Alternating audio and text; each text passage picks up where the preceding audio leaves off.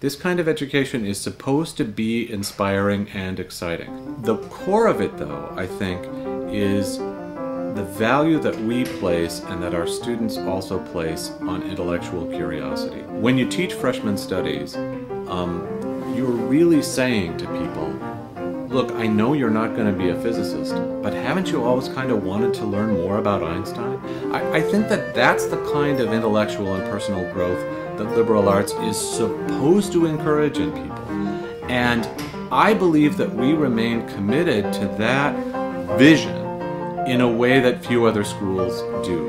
Obvious examples freshman studies, the double degree program, the fact that so many of our students end up doing two majors, or a major and a minor, or even two majors and a minor. That's a sign that somehow we are awakening people